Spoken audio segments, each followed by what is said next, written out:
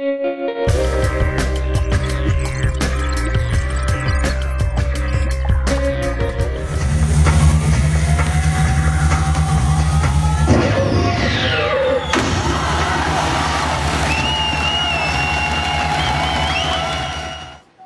sah sie aus, die zweite sogenannte Arschbomben-WM.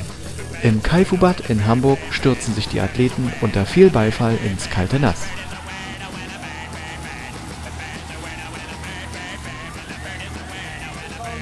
Doch wie kommt man eigentlich zum Splashdiving? Also ich habe das so gesehen von meinen ganzen anderen Freunden her und ja, da habe ich mal gedacht, probier's es mal aus und ich habe dann halt daran mein Interesse gefunden und ich werde es halt auch immer weitermachen. Es macht mir auch ganz viel Spaß. Es sind zwar ein bisschen Schmerzen, wo man da beitragen muss, aber es macht Fun. Das mit den Schmerzen musste auch folgende Athletin erfahren. Ich bin auf die Rippen geknallt vorne. Ja, es hat ein bisschen wehgetan, aber sonst ging's. Am meisten schmerzlindernd wirken da natürlich gute Noten von den Kampfrichtern. Und worauf achtet das Kampfgericht bei den Sprüngen genau? Äh, auf die Ausführung des Sprunges. Ist er so, wird er so durchgeführt, wie er äh, angesagt wurde? Und sind die Landungen so, wie sie vorgegeben sind? Wenn ich sehe, dass ähm, äh, die Landung in irgendeine Richtung kippt oder nicht 100% in Ordnung ist, dann werden dann die Punkte runtergezogen. Die geringsten Punktabzüge bei den Junioren erhielten Sarah Hiedelmeier, die übrigens auch das Einzel der Damen gewann, und Steven Hagarter. Fühlt man sich als neuer Weltmeister im Splashdiving? Ist ganz kribbelig in den Wellen, man zittert überall und ist aufgeregt, ziemlich aufgeregt, ja. Und äh, wie feierst du jetzt deinen Weltmeistertitel? Oh, ich denke, ich mache erstmal einen Truff. Vom Start des Finales im Einzel der Damen und Herren wurde auch einer Druff gemacht.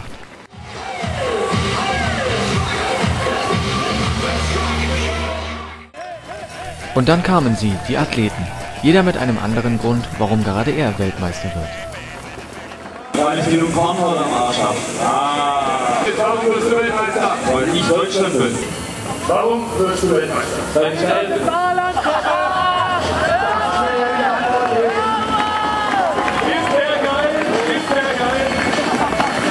Doch geil sein alleine reicht nicht, um Splashdiving Weltmeister zu werden. Hier kommt es auch auf Mut und die richtige Technik an.